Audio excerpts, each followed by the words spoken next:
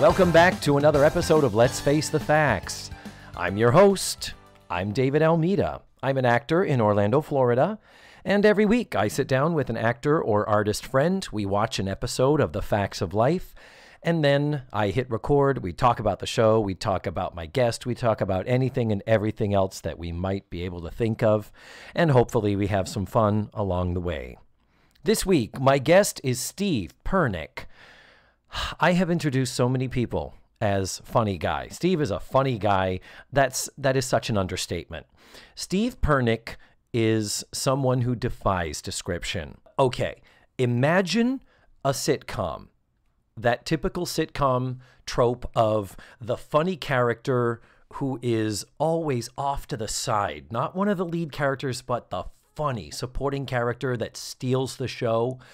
Steve is that person always seemingly off in the corner, somewhere on the outskirts, in just the periphery of your vision, who will throw out a zinger, a pun, a joke, and it just it is astounding the way his brain works and how he is always in make the funny mode. And I, I think you get a good uh, sample dosage of that in this episode as uh, as you listen along. Uh, Steve and I watched season three, episode eight. It was called "From Russia with Love." Uh, its original air date was December 16th, 1981. And uh, this was an episode I specifically asked Steve to do, and uh, you will learn why very soon if you haven't already figured it out. I think we're ready to jump on in, kids. Let's face the facts with Steve Purnick. Well, here he is, ladies and gentlemen. The wonderful, the fabulous, the hilarious, waving to the microphone, Steve Purnick. Yeah, isn't that how radio works or whatever this is? Um, Whatever. whatever this is. It's Let's Face the Facts, the podcast that reveals all Yeah. in the facts of life universe. It's a, it's a deep ass dive, let me tell you. Well, I was alive in the 80s, which is good. and uh, that's a good thing. Yeah. We um he and I just watched before we like get into the meat of the show. We just watched From Russia with Love. Yes. And is that is that like a title of a movie or like a James Bond? Yeah, it's something? title of a James Bond book and movie. Oh, Yeah. I, I can't believe I knew that. Yes, that's absolutely true. It's a, am deeply shocked. from Russia with Love. This is a very different from Russia with Love. this is yeah. We don't have a James Bond with no gadgets or killing people. There's no there's no sexy gypsies catfighting over. that's that's the best part of From Russia with Love. Is it? I've never. Oh, obviously, I've never seen it. I couldn't even. I didn't even know I knew what it was. Yeah, and Robert Shaw is a is a crew cutted blonde assassin. Oh yeah. for the Russians. I, James the James Bonds never. I, I like the newer ones. The newer ones with uh, Daniel Craig. Uh, I'm like okay because they have a much more modern spin to them. But You're not a Connery guy, huh? um, I mean, I, I'm not in anything. I don't. I didn't really care for any of them. I don't. They they don't really grab me. Well, there you go. So clearly, as we discuss this from Russia with Love, Yes. we can say I'm a much more of an expert on the other from Russia with Love. this one, this one is all new to me. yeah.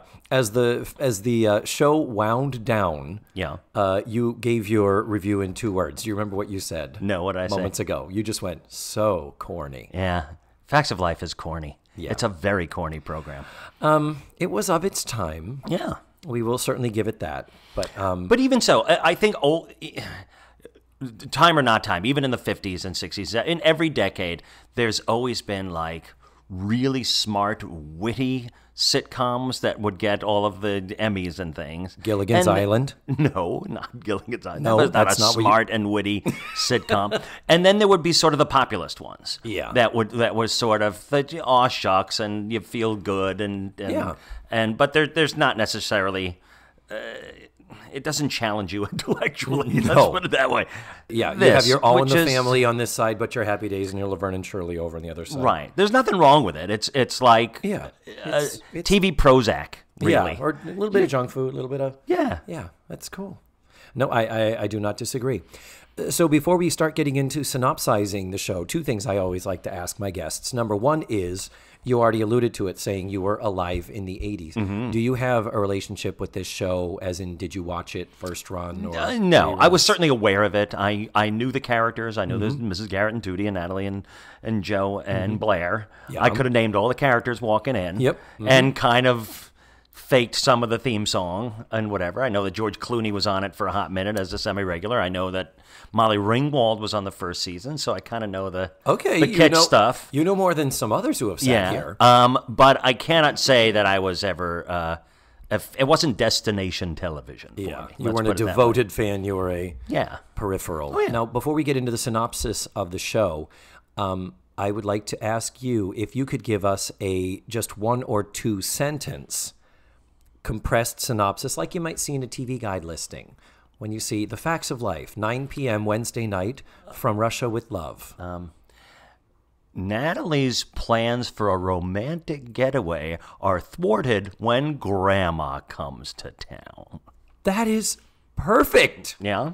That's perfect, and no spoilers. Yeah. I mean, because I don't think that's a spo- even the TV ads had to have the grandmother in them. Yeah. that was it. That was beautifully oh, done, oh, sir. why, thank you very should, much. You should do improv or something, Steve. or, yeah. Or I should write for TV Guide. Yeah. Oh, wait. Oh. No, oh. Wah, wah.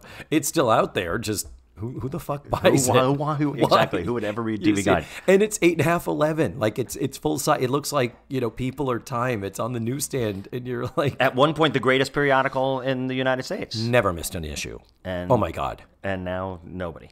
Yep. Well, Um, this, this is times changing. Yep. So so so so true. So I'm really not here as any kind of facts of life fan. I think because Natalie was a Jewish girl and this is her Jewish grandmother. Yes. I'm here as your cho- token Jew friend. oh no. I think that's what it is. I think I'm I'm here for my hebitude. Uh, well, well, let's address this right here.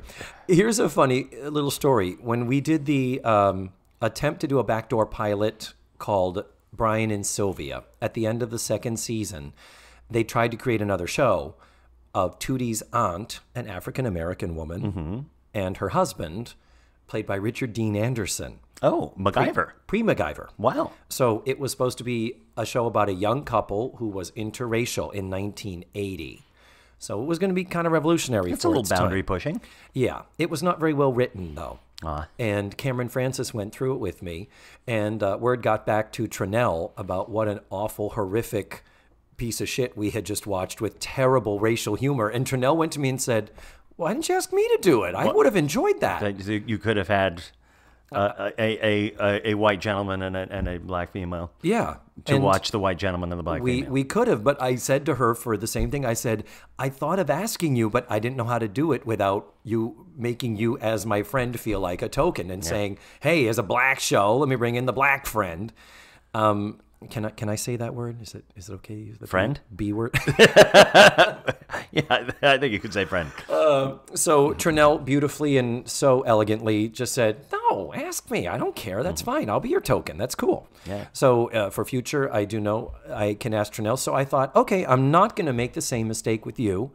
I told you what the episode was. I said, if I am, am offending you, tell Not me to fuck least. off. Not the, yeah, the grandmother is played by Molly Picon, who was uh, in the Yiddish theater in New York for years and years. It was a little fire plug of a gray-haired woman who reminds me very, very much of my own maternal Really? grandmother, who spoke with a, a very thick uh, Russian Jewish accent as well.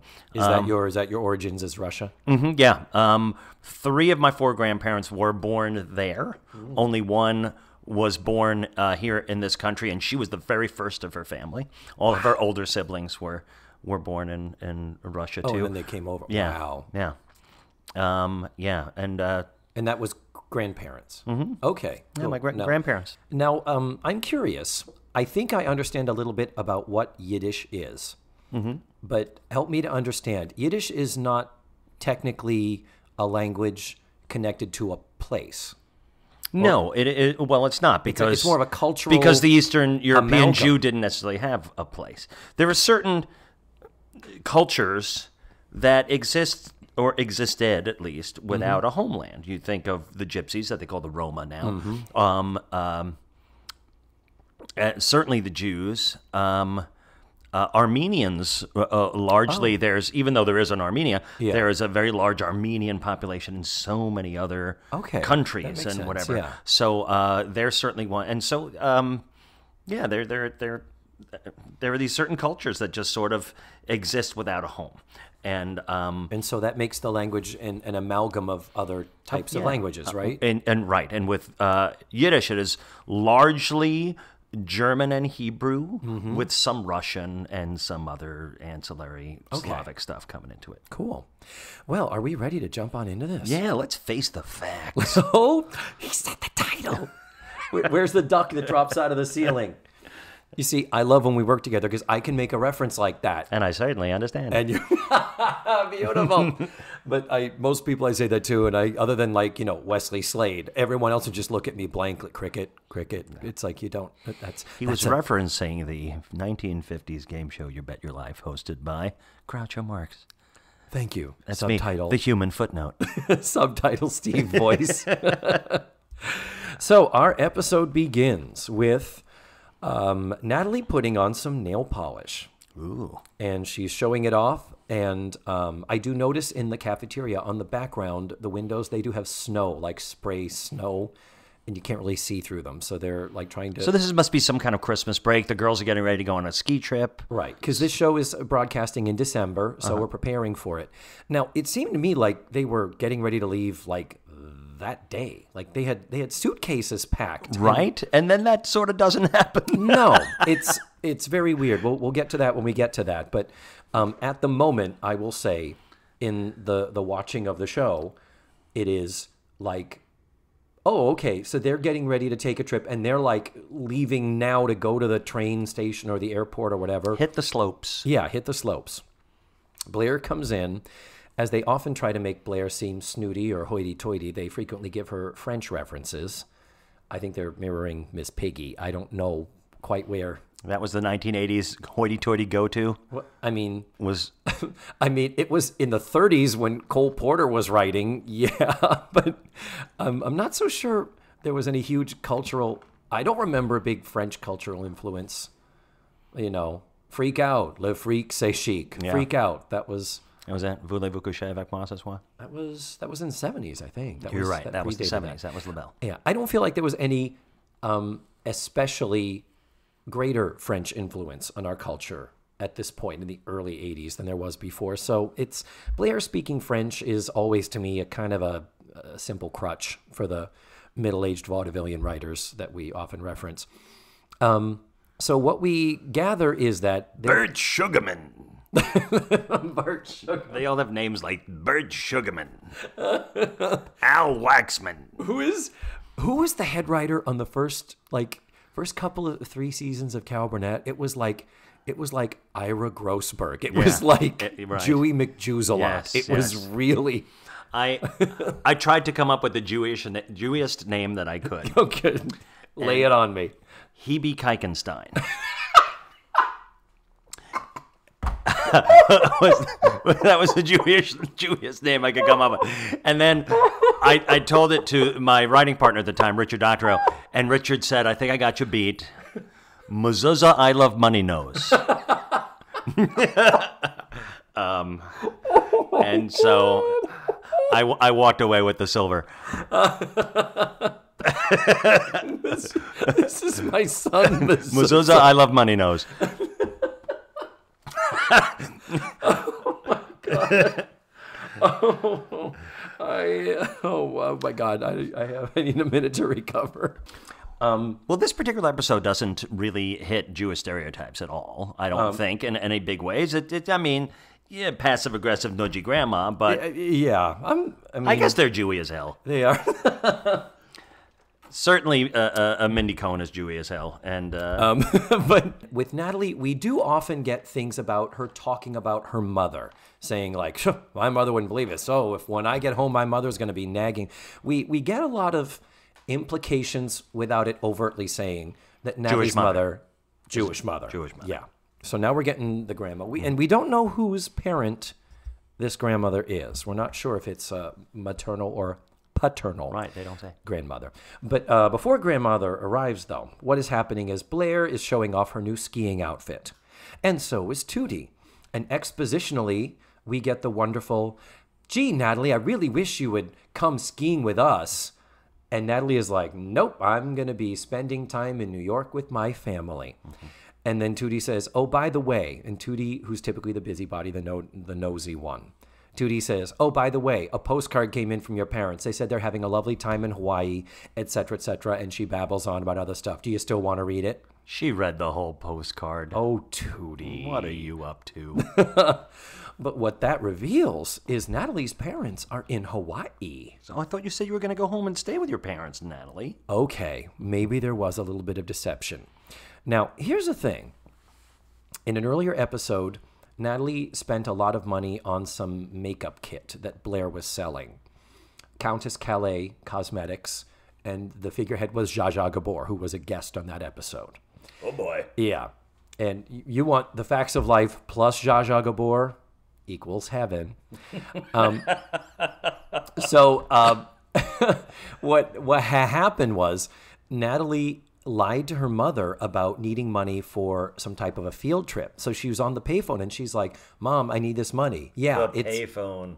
a, the payphone. We're going to comment. We're going to talk about that.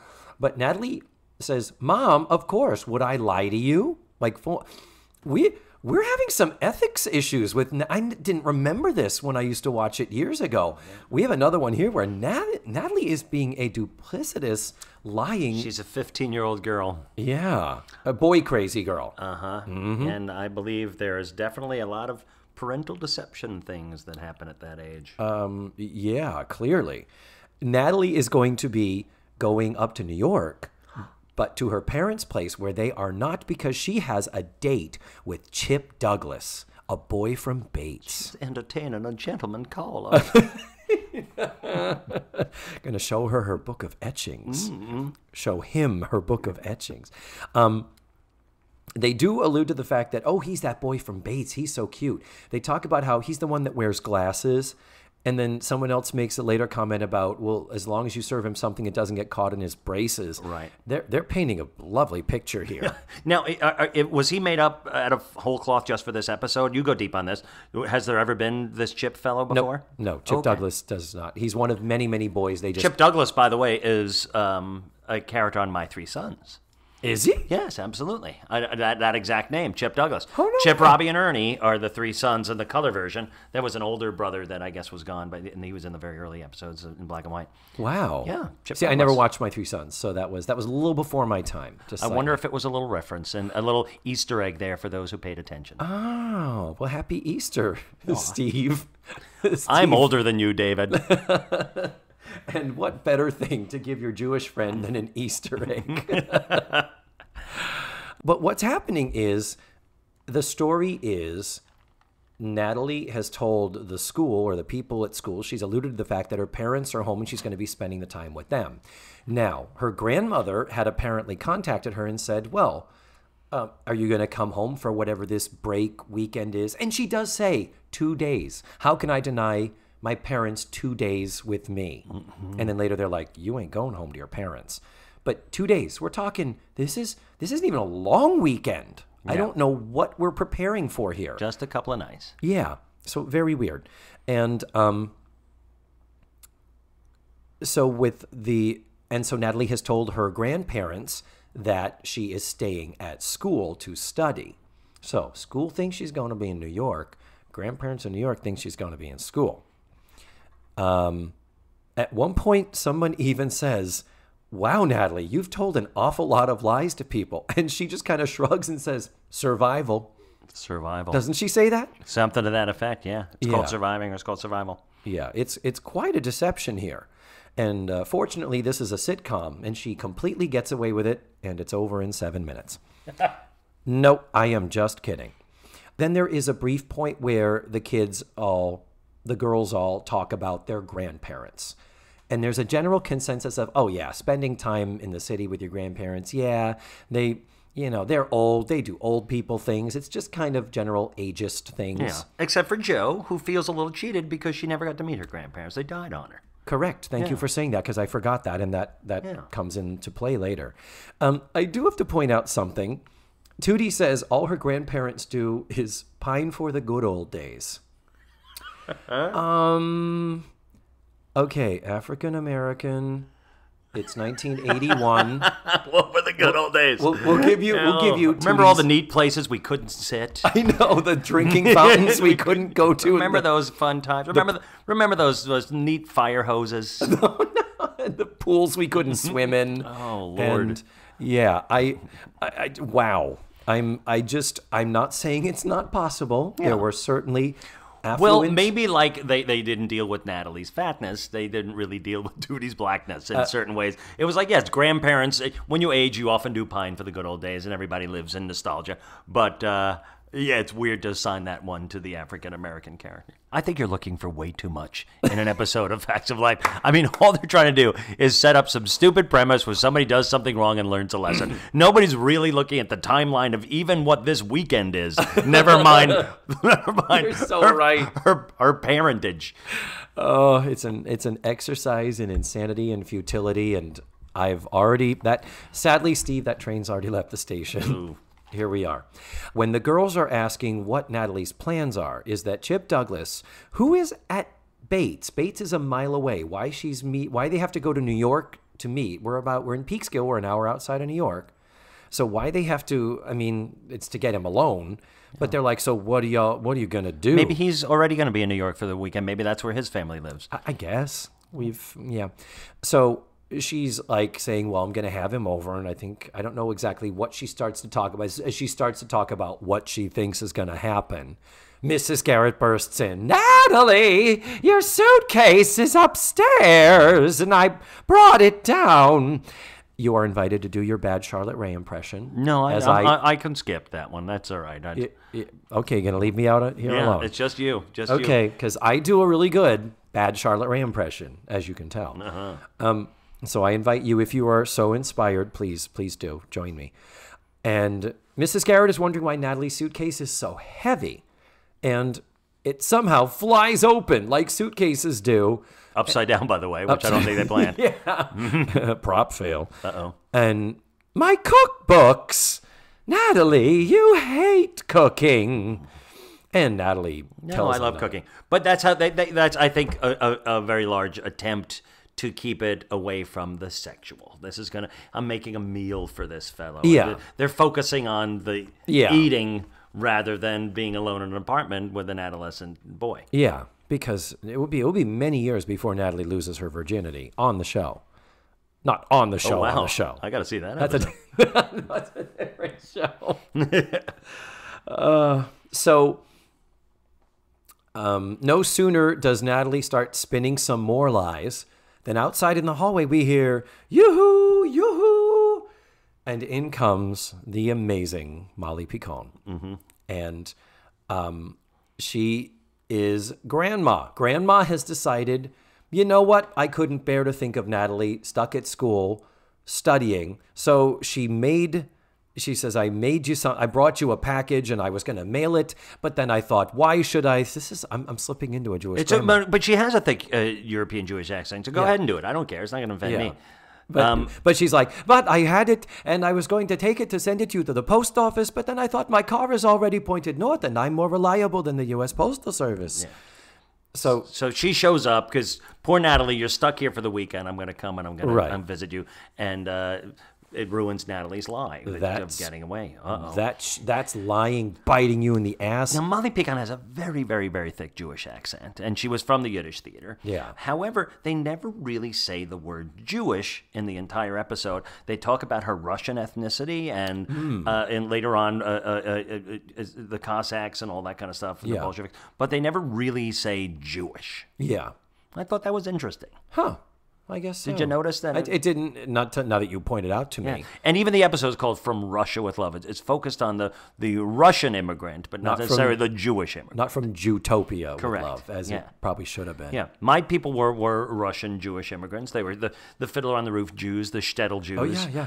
Um, and uh, and it seems that's like exactly what she's supposed to be, but without ever saying the name of the religion. Yeah, you're right. It never is ex- never stated. explicitly stated. Huh. Well, what we end up happening is Mrs. Garrett offers her uh, some uh, tea or coffee, and she says, I'll take warm water with lemon. So Mrs. Garrett's like, Good. Natalie, help me in the kitchen. Uh oh. And so now we know Natalie's going to get what for from Mrs. Garrett. Because she got busted. Yeah. Oh, nice. Nice little Tootie reference. Um, so she's like, You start talking. So while they're in the kitchen preparing this, boiling the water, and they actually do pull some lemons out of the fridge. There are many episodes that there's no food, even though they're supposed to be cooking and preparing meals for a whole school. Yeah. Oh, wow. If you're impressed by the presence of a lemon, they really must fail on that pretty big bar. time. set the bar very low. Um, so Natalie fesses up, and it's like, well, you know, why don't you want to spend time with your grandmother? And Natalie just kind of has that. She's it's and they're not that overt about she's old and old is icky, but there is a sense of she she's just annoying and she's uh, we don't connect and that type of stuff. Yeah.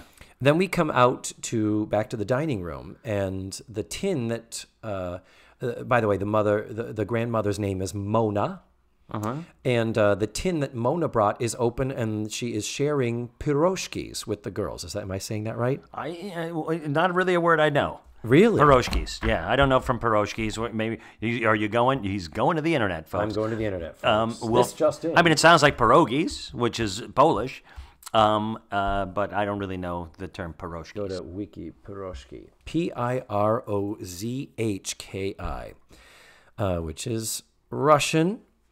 Uh, Piroshki are a Russian, Ukrainian, and Belarusian. Is that how you pronounce that? Sure. Puff pastry, which consists of individual sized baked or fried buns stuffed with a variety of fillings. The stress in piroshki is properly placed on the last syllable. So they're saying it wrong. Piroshki. A common variety of piroshki are baked stuffed buns made from yeast dough and often glazed with egg to produce the common golden color. They commonly contain meat, typically beef, or a vegetable filling, mashed potatoes, mushrooms, onions, an egg, or cabbage. Piroshki could also be stuffed with fish, like salmon, or with an oatmeal filling mixed with meat or giblets. Sweet based fillings could include stewed or fresh fruit, apples, cherries, apricots, chopped lemon. Okay, that's probably what we're talking about. We're talking probably about a desserty A desserty version? thing. I can't imagine the girls are eating, what did I say, cabbage? Giblets. Giblet. Here, girls. Mmm, giblet. Giblicious.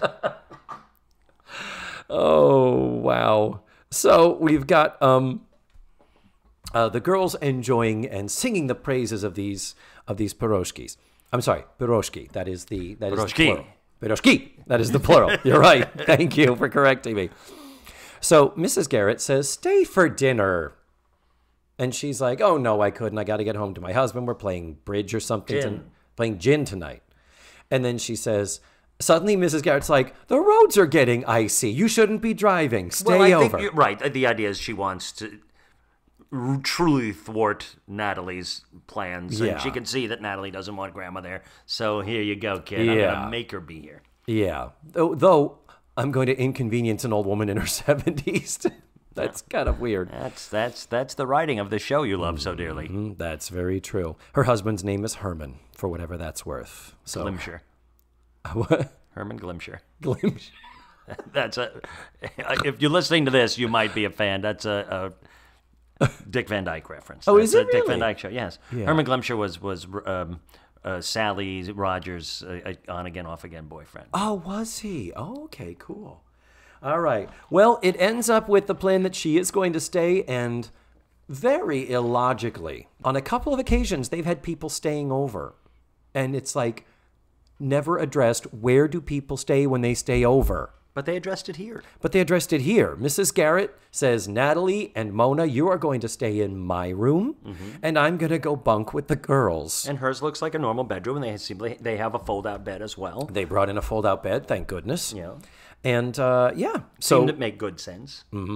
So before they go, uh, before we move on to this next scene, Mona does have to make the phone call to Herman to tell him that she's not going to be coming home and playing gin tonight. On an old 1980s giant metal payphone on the wall. Steve, what did what sound did you make? You made a funny. Did I gasp at the payphone? You, you just kind of went, oh, you you made some type of an audible, like like holy shit, look at that, because it's it's it's bigger than her. Ancient technology now. Yeah, the the the, The stuff phone- we grew up with. And she's so tiny, she's like reaching up to it to put the coins in.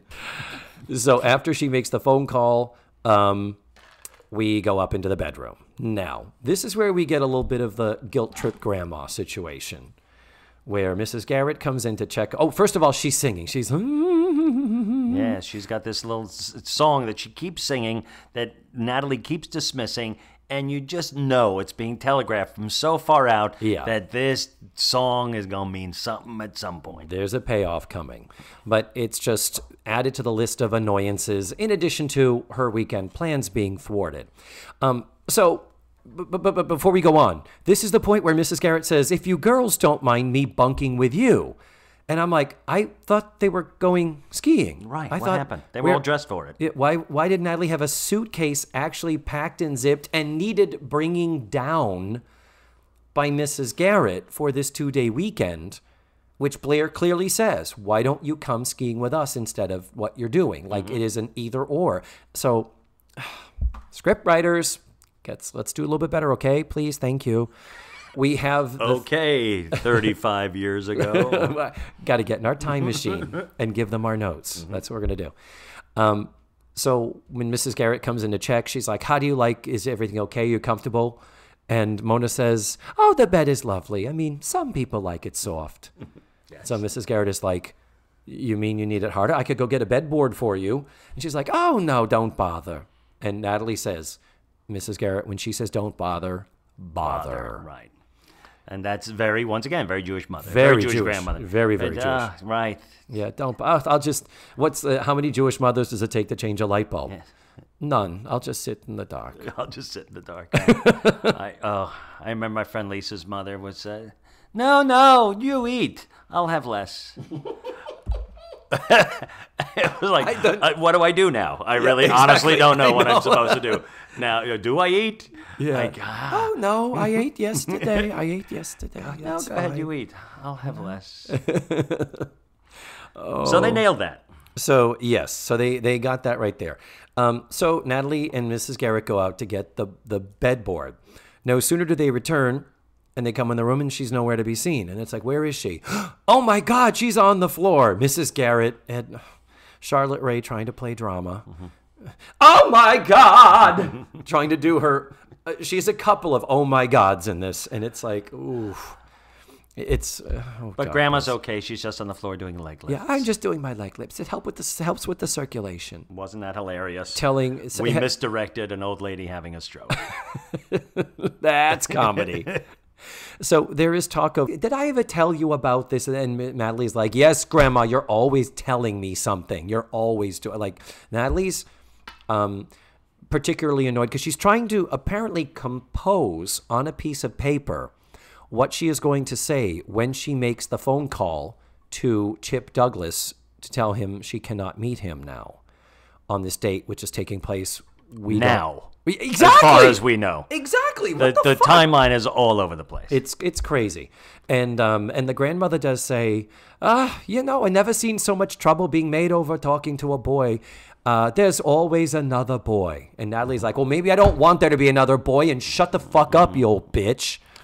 I'm Yeah. pa- I'm paraphrasing. you were quite a bit. Yeah. The grandmother goes to pinch Natalie on the cheek and she tries to give her a kiss. Oh, explain to me. She says, All right, well, I'm tired. And she pinches her cheek. Mm-hmm. And then she does this kind of a. A, a kiss and then a throw, like yes. like she thro- Natalie clearly doesn't want to be touched. So then, just when it's time to kiss her goodnight, she leans in and realizes, oh, I can't do that. So she kisses her hand and like throws it at her. throw like But dismiss it was a really lovely piece of physical business that got a nice round of applause from Oh, the yeah. audience. Um, because Molly Picon's an all pro. she fucking I rocks it. is- She's great is- in this yes. episode. The material is thin, but she is uh, she handles it just beautifully. Absolutely. So, um, finally, Natalie says, "You've ruined my weekend." Like she turns out the light. Natalie doesn't want the light off because she's still writing her thing. Why would you turn the light off? And then she finally says, um, uh, "Ruined weekend. Oh, you've ruined my weekend." And then, oh, it comes out that Natalie was deceiving the thing about when there she was going to be. And so Molly, uh, I keep on Molly, Mona, Mona says something about you can lie to a mother, but you do not lie to a grandmother. Right. Like it's yeah, the lying to your parents was forgivable, but not to me. Yeah. And she kind of she kind of storms out and, and goes downstairs. and she's like, uh, she ends up saying, uh, what? No, I'm going to leave. You hate me, clearly. And she says, Grandma, I don't hate you. She says, All right, you love me. You just hate being with me. I'm going to go. Where are you going to go? Don't bother. And she walks out. End of act. Uh, fade to black, and we go to commercial. And uh, For L'eggs. is that your is that your favorite commercial? I, I don't know from a drug yard B 1981. It's it's uh, L'eggs, pantyhose. pantyhose in an egg. I often ask my guests to name a commercial from the era. You you did this without my asking. Oh well, You're- there you go. You're psychotic. Wow. well, during the uh, commercial portion of the episode, this is when I like to do a little getting to know you with my guest. And uh, Kind of fragrance that's here to stay, and they call it Charlie, there it is.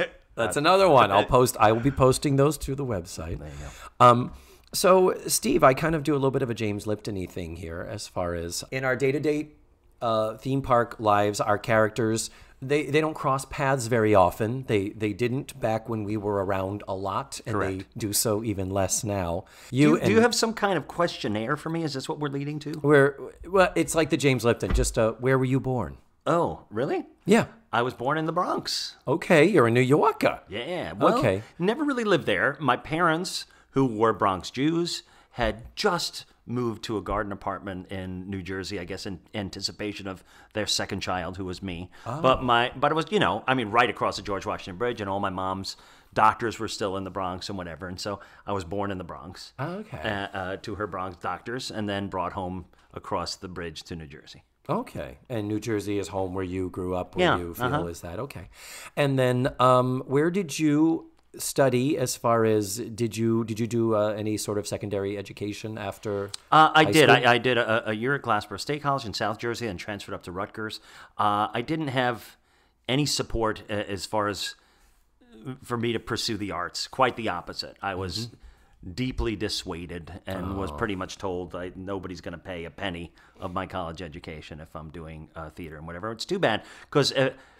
Uh, Right when I was at Rutgers, if I had gone into the Mason Gross School of Arts and done a theater program there, I would have been with James Gandolfini. We're the exact same age, and and Oh. uh, and I'm sure we would have been great pals. yeah Um, yeah. I, you could I- have been the Jewish James Gandolfini. yes. uh, there you should go. bill yourself as that when you go back to stand up. Sopranoids. um, uh, so no, I never finished college. Okay, because I think did- I was in huge denial of what I what I wanted to do, and I was uh, just pursuing things I had no interest in. Okay, so did but so did you like do any theater studies at all in the course of that, or you didn't even get near it? No, because I didn't get near it. Wow. Um, so where did the changeover happen? an old uh, uh, my old high school drama teacher who was a major improv guy at one point decided i'm putting together an improv group with some of my favorite old students and the people that really had a, a, a good handle on this and and um, that's how my uh, company unexpected company was born and we started working in the clubs around new jersey and then in manhattan um, then we started casting beyond our friends as you know the Yeah. the people who just weren't serious about it stopped playing at it, and we got. And I started working with some people that you know in Unexpected Company: Mary Thompson Hunt, Mark Lehner, um, and then uh, eventually. Um, uh, just th- through people we knew in the improv uh, circuits. One of them was uh, Chris Oyen, who was uh, kind of an improv god in Manhattan at the time and started working for Walt Disney World.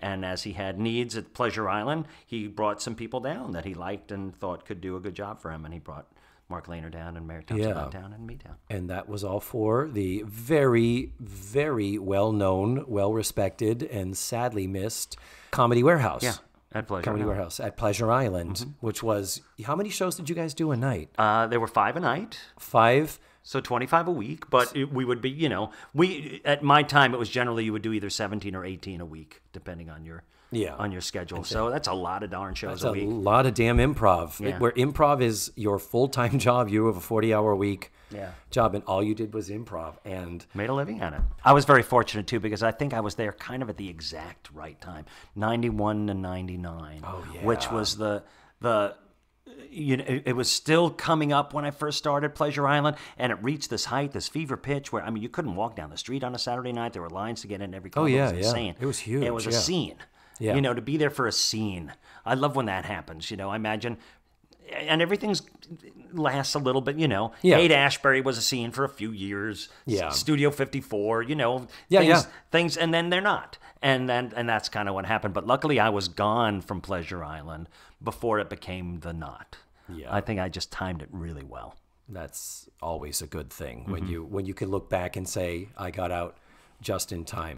So after the comedy warehouse kind of being the big uh, you know initial meat and potatoes thing that brought you to Orlando Yeah. and all that uh, let us let us sidebar for a second you also have done actual stand-up comedy Not much. no No, surprisingly little. okay because working with you and being your friend Yeah. and spending time with you is very much like being with a stand-up comic Ah. from uh, I'd say the Catskills somewhere between like 58 and 62. I have a joke writer's mind. you do. There you go. Bingo. When we did Laughter on the 23rd floor Yeah. at Mad Cow Theater, having I had you to play an old Jew in a New York writer's room. yeah, what a stretch. Yeah. Get me an ace bandage. Yeah. and but the thing was, all the rest of us were it was, you know, it was like we were supposed to be a room full of Jewish writers and all of us it was me and Tim Williams and Heather Leonardi and Brandon Roberts Brandon Roberts, Glenn Gover, uh, and Philip Nolan. Philip Nolan and uh, Oh, Connor Marsico. Connor Marsico. Uh, the secretary was Robyn Kelly. And uh, did I My God, everybody? it was the tiniest little role, and she rang more laughs out of that than I imagine anyone who's ever done it on Broadway could have ever found. Robyn Kelly is magic. I just, yes. I cannot wait to have her on the show. It's going to happen uh, someday. But having you there was so important. You gave, you legitimized us. I was the authenticity. You were the authenticity, but not just for your presence, the fact that you kind of helped us get the vibe. You backstage is what this play is about. You, Steve, interacting with you, Steve Purnick, backstage, where you're always looking for a joke or mm-hmm. trying to make a pun when someone says something when they walk by you. That's what that play is. The play is a writer's room. Yeah. And so you being there was, I think, so helpful to all of us and helpful to the production. And the production came out, I think, I still think it's one of the best things Mad Cow ever did, Uh-huh. but I might be biased. Yay. So, among other things you've done, you've uh, moved on. You have been good friends with the uh, uh, Indiana Jones uh, director at the Indiana Jones. Yeah, I was AD at, at Indiana Jones for a year. That was right before I came to, to Citizens Street and, and right and and was a, a Hollywood Public Works. Yes, and uh, who was who was the character with whom you were very close friends? What Buddy Flowers? Buddy Flowers. Buddy Flowers. Flowers. Yeah, Yeah. I, I I say that in the past tense. That Yeah. I just mean, duh, you still are. Yeah, you might you might still see Buddy Flowers. Yeah, out Buddy on the street every now and then. Exactly. I sub over there, and and uh, I used to do Mulch, Sweat, and Shears. I do the Pirates and Pals fireworks voyage. A lot of stuff at, at Disney over the years. What am what am I forgetting? Um, good. I, I don't know. I'll think. Yeah, and and uh, you just recently uh, rehearsed into the horror makeup show at Universal. Oh, what a wonderful, wonderful show! And I cannot wait to do it with you. It's an honor to be a part of that cast. There's a lot of really, really great people. You do it too. And thank you. Thank you. There you go. That was my. That was a. Oh yes, I cannot wait. I love horror makeup show. Is I've said it a million times. It is a great script. It starts out on paper as brilliant, and then we get the ability to make it even better. And it is so much fun. And every single body at that stage is awesome. I am like you. I feel very honored. I get to work with these people. So I can't wait. All right. Is there anything else you need to know about my career? Uh, blood type. I have no idea. Sperm count? Red. Uh, uh, sperm count. Uh, hold on. Let me get some. oh wow! Oh man. That's oh man. gonna stain. Yes. Y- yes. And uh, You know- that's it. You know the sperm banks will pay you for. Uh, I think all the money I let slip through my fingers. That is Steve Purnick, ladies and gentlemen. You get that all the time. Can I? I don't know if this will end up in the show or probably in the extras. I, I still, I have quoted this so many times. My favorite, favorite Steve moment. I was talking to someone who was running through different ailments that his his poor wife had gone through. His wife had had some health problems, and among the things he was listing, he said, "Well, she had gone through this. She did this treatment, and then she had a cataract." And as though on cue, as though you were waiting, you walked past the doorway, just turned your head to us and went, Really? I drive a Lincoln. and kept on walking. It was just. She had a cataract. Really? I drive a Lincoln. And I'm like, Were you waiting? Had you been waiting your entire life around that corner, hoping someone might say the word cataract? No, you just you have your file. You know what I mean? If you can access your files fast enough, that's what it is. It's just about. Not, that's, it's not great. It's just speedy. Yeah, I, I hear you. That's so much of what what improv is about and what our what our jobs are about. And may may we always we love uh, Robin Williams is for the, the quickness of the mind. Oh, You know what I mean? yeah. And there's something to be said for a quick mind. Yes, indeed. Well, of the many jobs uh, that you juggle, as so many who have sat there before you, I always say thank you for making the time because I know juggling all this stuff is is crazy. So I'm really happy you got to do this, and uh, thank you for being here. And uh, now we're going to move on to Act Two. Why are you looking confused? No, it's wonderful. We're talking. you're like- what would I would rather do with a night off than than talk Facts of Life season three. Um, from your mouth to God's ears. You were you were looking around, kind of like, why are you thanking me for being here? It's like, yes, I I do still thank you. So we come back now from the commercial, and we are in the kitchen. Mona is making herself some more hot water with lemon. Is that a Jewish beverage, Steve? Hot water with lemon. Hot water with lemon? Well, it's sure cheap. No, no. Oh, I did not set that up There you go. intentionally, but there it is. Did you hear about the Jewish cheerleader? No. Get that quarterback. Jewish Jewish girl says, "Dad, I need to borrow fifty dollars." He says, 40 dollars. What do you need thirty dollars for?"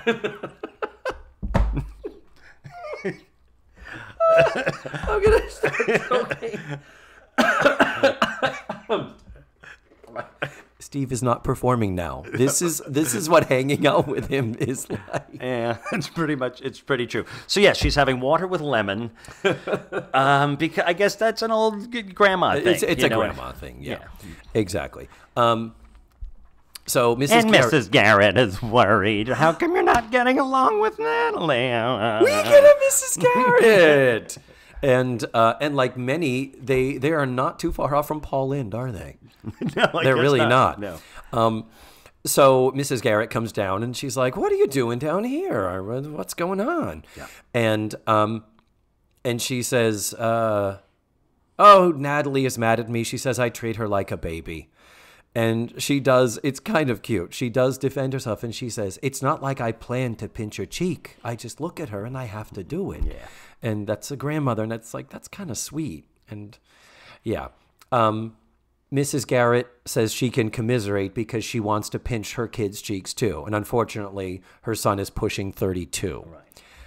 Um, and then she mentions grandchildren. And then she mentions grandchildren, and Mrs. Garrett says, Yes, I don't have any grandchildren.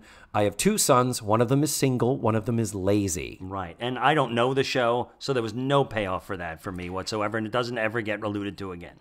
No. But I mean, it's just, it, I think it's just funny to say one of my sons could give me grandchildren, but he's, But he's lazy. too lazy to too, la- get too lazy to fuck. Yeah, Uh, he- he's, wow. You, you just, you're just going for the language on you this can, one, aren't you you? can, this is adult content. Did you not know? I did I not tell you you could? I work Disney clean. Oh.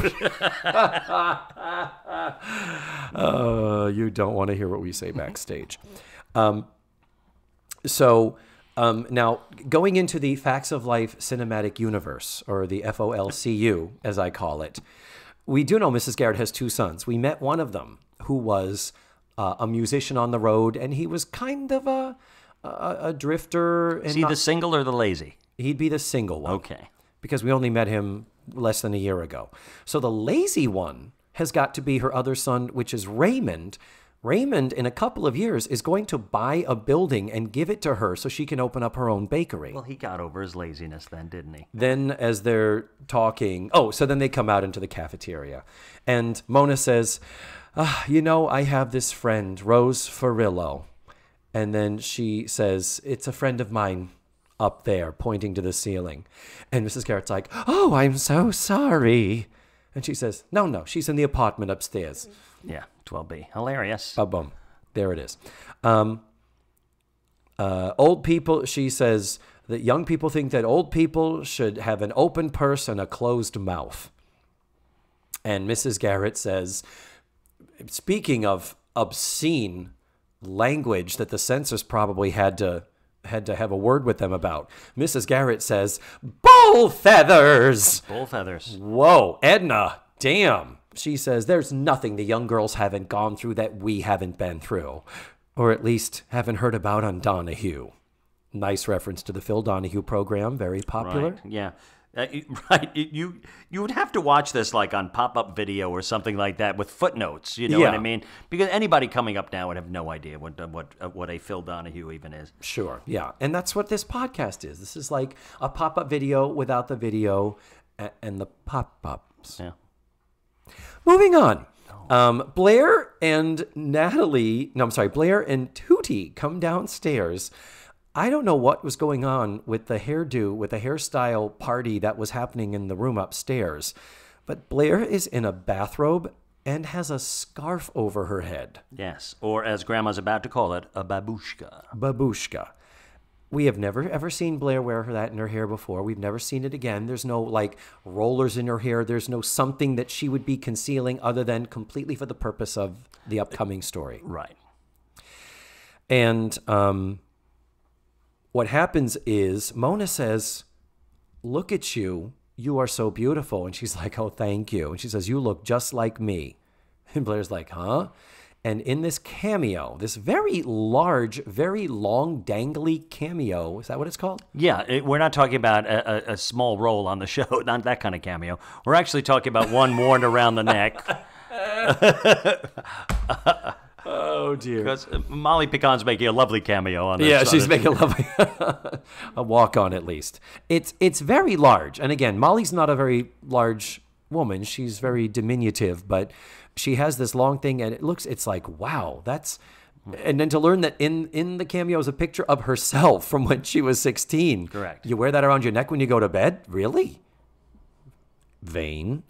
Um, so she pulls out the cameo with the picture of her when she was 16, the photograph taken in the Ukraine of her wearing her babushka. We never see it, but everybody oohs and ahs around it. And, oh, you are beautiful, and oh, you did look like Blair, and then and Blair, you did look like this. Yeah, exactly. And then she says this photo was taken in the war. And they were like, "The war? Yeah. You were there for the war?" And she says something along the lines of uh, they say, "What was it like?" And she says, "Uh, uh, uh, there's an old saying, war stories are not bedtime stories." And then I forget if she actually starts at that point, but uh, Natalie and Joe Natalie is back up in the bedroom. We go back up to Mrs. Garrett's bedroom where Natalie is still working on this letter on how she's going to tell this boy, sorry, can't make it. It's it. before word processors. You couldn't just cut and paste. I, she could have she could have gone to her home computer, which would have been the size of a garage. And then Joe comes in and wow, Hey, computers go all the way back to biblical times. do they? Yes, Eve had an apple and Adam had a wang. Oh dear. Tip your service, try the veal. Uh, Natalie is then Joe pops her head into the room, and this scene is short and escalates very quickly. Very quickly. Where it's like, um, where's your grand? Oh, where's your grandmother? Oh, she's downstairs because I got mad at her. Why would you do that? You're lucky you got a grandmother. Blah blah blah. And then and they very quickly, Joe and Natalie are kind of barking at each mm-hmm. other, and then it culminates in Joe saying. You know, I wish I had grandparents. And she says, all they want to do is love you. Yeah. And they the- don't ask anything of you. Yeah. All they want to do is love you. And it gets a on a kind of an applause. And, and a big applause. Like, they're like, yeah, fuck you, Natalie. You're being a lying bitch. that yes, that was I'm, I'm paraphrasing. the again. implication of the applause was Yes. fuck you, Natalie. So then we come back to in the cafeteria. We're now technically in the final scene of the show, and uh, Mona is telling about the Bolsheviks invading their village. I guess. Is, Yeah. Uh-huh. She uses the term Bolshevik. She also uses the word Cossacks at some point. So this probably would have been the pogroms just pre World um, War II. No, no. This, pro- that- that- I mean, the what she's describing sounds czarist, sounds pre-Russian Revolution. Um, so once again, it's a timeline thing. You, you're, we're struggle with timeline all the way through this. Why not do it here too?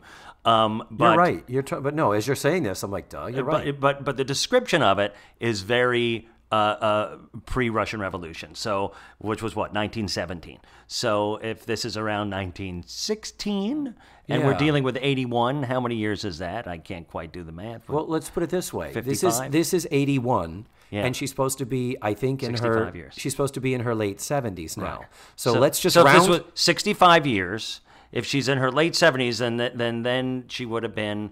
Um, uh, so she would have been about yeah about 14. Yeah. So that's probably pretty close. Yeah. No, Yeah. you're totally right cuz what what my brain did was I thought let's round her up and say she's 81 years old Yeah. in 1981. Well, she would have been 16 in 1916. Yeah. And yeah. that's that ain't World War II. That's World War. That's Well, Russian. Revolution. That's the first, the the Great War, as they call it. So thank you for correcting me. You're duh. I should have known that. So then she tells the story of one of this one mean Cossack was whipping her father, and she ran up to him and said, "Stop that!" And then he uh, held a gun to her chest and said, Lie down. And she said, If you're going to kill me, I'm going to stand. And then He said the end. Then he said, "I oh no, I, I don't. I'm not going to kill you. I want something else." Oh, you're right. That's right. And that's where we get the That's second. why he told her to lie down. That's he wanted right. something else. You're, you're totally right. Uh, and then that's where we get the second Mrs. Garrett. Oh my God! the beautiful. I Yeah, mean, and the girls are freaking out. They're hanging on every word. What'd you do? What'd you do? And she, Yeah. said, she said, Well, I don't know where I got the, the strength, but I pushed this guy over. He fell over a stool, and I ran and I ran and I ran until I got to a cornfield and I hid in the cornfield. and they never found her. Yeah, and, and Natalie has entered and is hearing the story of her grandma she's never heard before. Yeah. And suddenly she's taken in too. And she's like, Man, why didn't you mm-hmm. ever tell me this stuff? You don't tell it to a child. She Yeah, says. that's And true. She, she said, But Grandma, I'm not a child anymore. How old were you when this happened? And she tells her she- I was 15. She says, I'm 15. Yeah. They start And- bonding now. They do. And then the payoff that you were looking for, you even said it. Where's the song? Yeah, you where's said, the song? Okay, we're getting there. we're yeah. getting the but well, where is the song? We got the song. She's like, I think she says, I think she goes, I want to have another cup of tea with lemon. She goes back over to the kettle, Singing her song. singing her song, and Where does that song from? Is it something special? Yeah. it's like she's sitting here, Steve. And um, uh, she says, "Oh, that was a song that um, that my my uh, boyfriend." She doesn't say boyfriend. What does she say? Sweetheart, I think. yeah, a- that was a song that my sweetheart used to sing for me, and she does a um, and Translation, translation. So she hums it. I'm I'm surprised she didn't sing it in Yiddish. Yeah. and then translate it. She just hums the melody and then says and says gives the words. English English translation language. Yeah. And it's basically, you know, uh, I will wait for you on this bridge forever, and it's it's a it's lovely and romantic and all Declaration of eternal, never-ending love. Oh, and all the and, and Natalie says, "Oh my God, that was Grandpa," and she said, "No, this was before Grandpa. Yeah. this was he. This was he became a my first love became a soldier and went off in the war, and I didn't see him again. I came to America, and then I met your grandfather. Yeah. So remember when I was telling you there's always going to be another boy? I wasn't telling you because I didn't know. Yeah. I was telling you because I do know. Nice. Right. That's and then they're they're bonding. Yeah, and the sort of final uh, thing to to build this this beautiful experience up is Natalie. That's when Natalie says, "Well, how old were you?" Mm-hmm. And she says, "Well, I was already a grown up. I was already a woman. I was already I was already a woman. I was 15. Right. And Natalie's like, I'm 15, meaning, so why the fuck are you pinching my cheek still? So Ultimately, they come to this beautiful understanding. Yeah. And and, and where they have to both meet in the middle. It's not one is right and one is wrong, but Natalie is more wrong. and right and grandma in her wisdom says you know what Uh, let's call it truce i will start, stop treating you like an infant if you stop treating me like an antique. To the applause of the audience, everyone rejoices. Fences have been mended, Yeah. and uh, What bridges, new understandings we have of one another. bridges have been built between generations. Gaps are now no longer gappy, and uh, yeah. So I think I think this episode uh, changed the world a little bit, don't you? No. no. No. So As much as this podcast will. Oh, you're so sweet. That's so sweet. Well, this has just flown by. I'm I'm kind of like, oh, are we already at the end of the episode? I could sit here and have you throw out more jokes at me for Nice. a much uh, longer period of time. Now, I understand that Mrs. Garrett. Uh huh. You were talking about the spinoff of Tootie's parent, parents or aunt or whatever. aunt, yeah. But this was a spinoff itself, right? Yes, it was From- different strokes. From different strokes. Yeah. Yes. Did you ever watch Different Strokes? I know, not much. Same story. I was, I was very, I was completely aware of all the characters and the You knew and what the you talked about. Willis. Yes, but uh, I remember uh, uh, several years ago, um, Dano Sullivan. Did you know Dano? He was a SAC theater guy. I did remember not he told me he said um, Conrad Bain died from different strokes. Yeah. and I said, really? I thought it was a heart attack. Um, On that note, I can't think of a better way to end the show, Steve. Steve Purnick, thank you so much for doing this. Thank you for all the fun and all the laughs here and beyond in all of your career. And I hope you'll be able to come back maybe. What a joy! Bye to all four of you. Bye. and there you have it. That was Steve Purnick. Now, do you understand why saying funny man Steve Purnick just doesn't really scratch the surface of the insane comedy mind this man has? Uh, I'm so glad he came on the show, and I'm so glad that he was willing to be a part of this particular episode and give his own uh, bent on it as a Jewish person. So I really, really thank him for that. Uh, just some follow up to stuff we mentioned on the show. First of all, the head writer for the Carol Burnett show was Saul Turtletaub. That was the particularly Jewish name I couldn't think about and I couldn't remember, and there it is. Um, the other thing is that uh, Tootie's grandparents talking about the good old days. I just wanted to be 100% sure that Steve and I were not being really total freaking assholes going on our little fun riff. And I texted Trinell Mooring, you may recall her from uh, an earlier episode. I believe it was Molly's Holiday that she did, but Trinell is my African American friend, and she did respond to my question Do African Americans refer to or reminisce about the good old days? And her response was, LOL, that was written by white people. And I thought, okay, good. We, we were right. We my point of view, our perspective was was uh, on the mark, on the target. That was a good thing. And actually, Trinell went on to say, anytime she's sitting around talking to her friends, her contemporaries, and someone will mention something along the lines of, wouldn't it be cool to go back to this other period of time and experience this thing? Trinell said she even goes, no, nuh-uh, not going to do it. Do not want to go back to any earlier time. So another thing is uh, Mrs. Garrett referring to her kids and saying that one of them is single and one of them is lazy.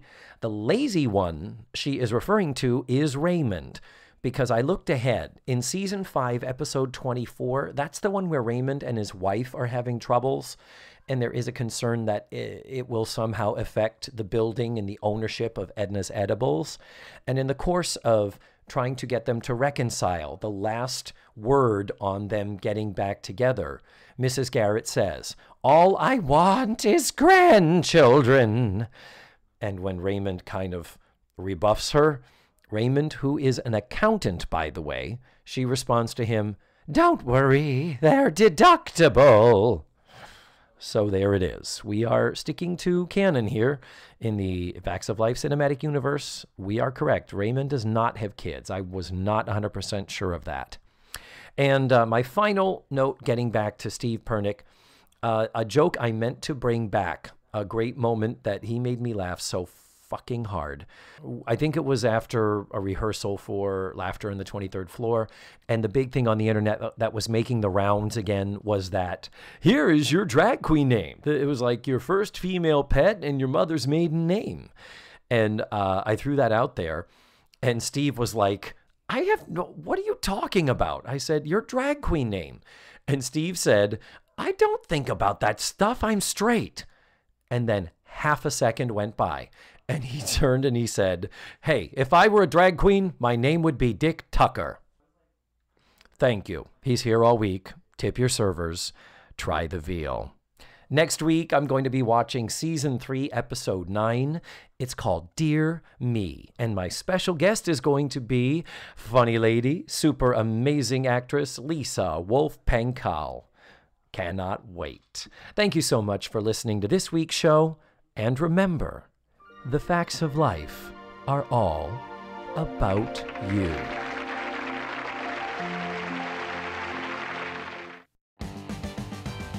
Let's Face the Facts was produced, written, hosted, and edited by me, David Almeida. My theme song was beautifully arranged and recorded by Ned Wilkinson. Our website is facethefactspod.com. You have to drop the let's. And that's where you can find extra pictures, video, and audio extras from the digital cutting room floor. Follow the show on social media. We're everywhere under the handle Face the Facts Pod. And don't forget, go to your favorite podcatchers and subscribe, rate, and review. Tune in again next week for another thrilling episode of Let's Face the Facts.